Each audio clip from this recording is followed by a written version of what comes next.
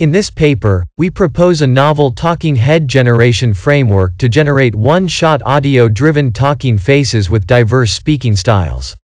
We first attain the speaking style from an arbitrary reference speaking video and then drive the one-shot portrait to speak with the reference speaking style and another piece of audio.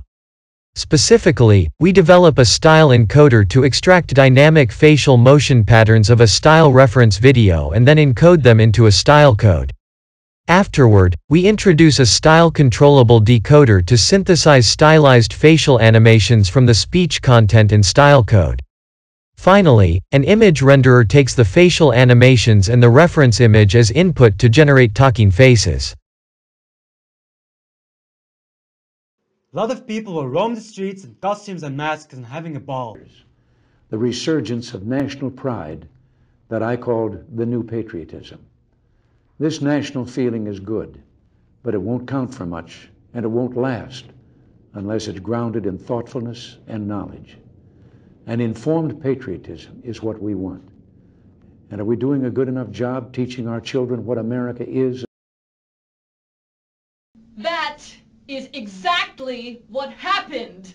Don't ask me to carry an oily wreck like that. Dakota has done a great job fighting the spread of COVID-19. Together, we flattened our curve and we have the hospital capacity to care for those who need it. That's why I've announced a plan to start getting South Dakota back to normal.